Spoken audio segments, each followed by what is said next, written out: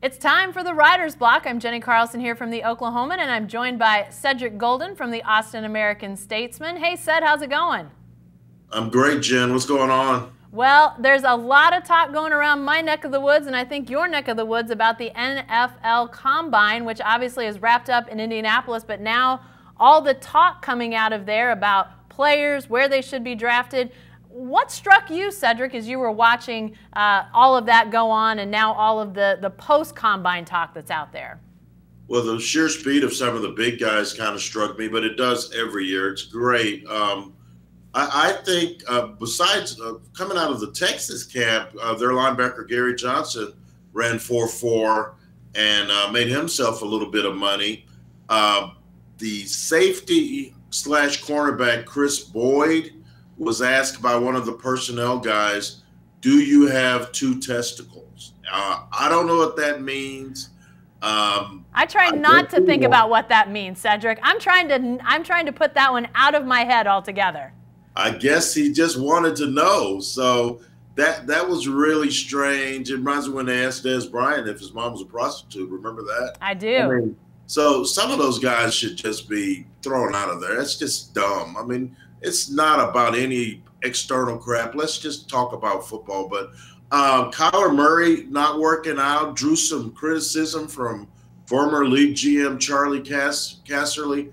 Uh, Kyler, you go be Kyler. Don't worry about the haters. Your pro timing day's coming up. You're going to put on a show and uh, you're going to go in the first round. And I bet the Arizona Cardinals are probably going to take you. So I wouldn't worry about the haters. I would just play my game, and if and if people have a problem with him not working out, okay, that's their problem. Uh, he, he's a dynamic talent. He's put it on film, and he's going to put on a show for the scouts in Oklahoma. Yeah, I think so too, Cedric. And you know, I, I wasn't really all that uh, taken aback by the fact that Kyler Murray didn't work out at the NFL Combine. You know, in fact, I, I sort of thought that would be the way it would go. You know, here's a guy that uh, was considering do I go play baseball? Do I do this NFL thing? Do I try to do both?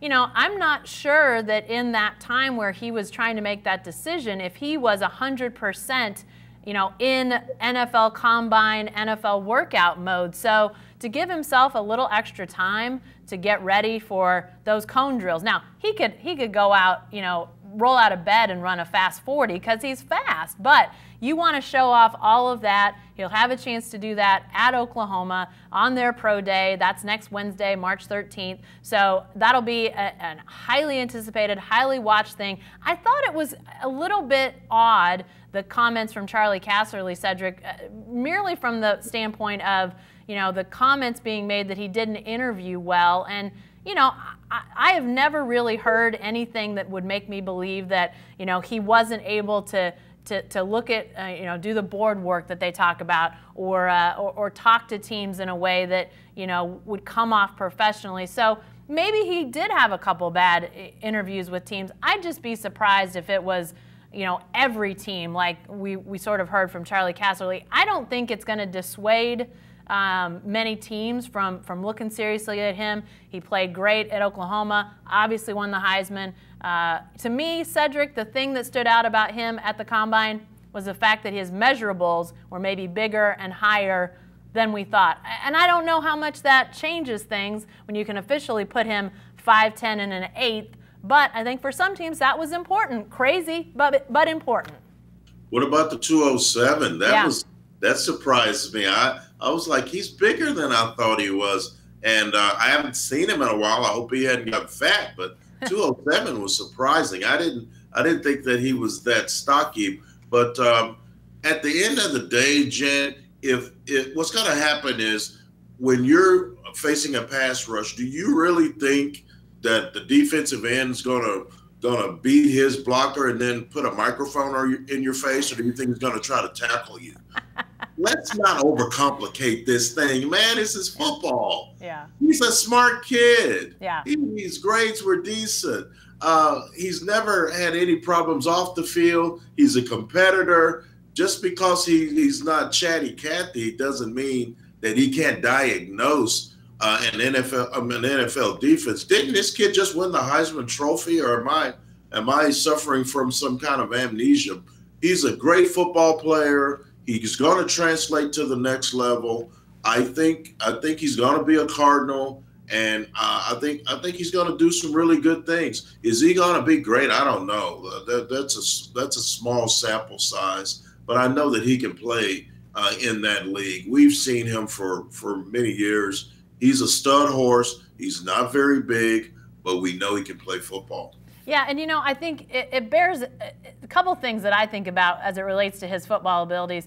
We saw it, uh, you saw it, Cedric, I saw it. Anybody that watched Oklahoma, there were times when you watched Kyler Murray make plays, whether it was uh, you know waiting on receivers to get open. There's a, a, play he made in the West Virginia game that stands out in my mind where he held the ball and, and moved the pocket and waited for I think it was almost seven seconds. I mean, that's the kind of thing that he's he's waiting on that, and then he has the ability to, to to buy time for receivers to break open, to find a spot that he can get the ball to them, and then he did. You know, I think too that speed, that elusiveness.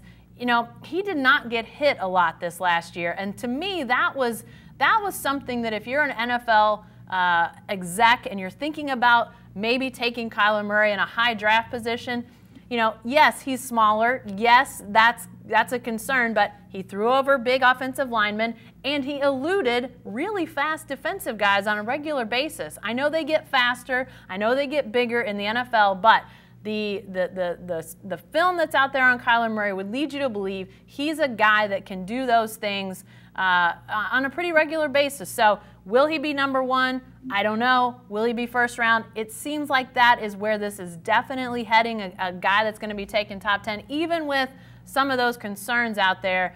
I, I wonder, it makes me think back a couple years ago about uh, Adrian Peterson. That name springs to mind when I think about all the all the hubbub about him and there was talk, you know, should he be taken? Where's he, you know, falling? Teams had concerns.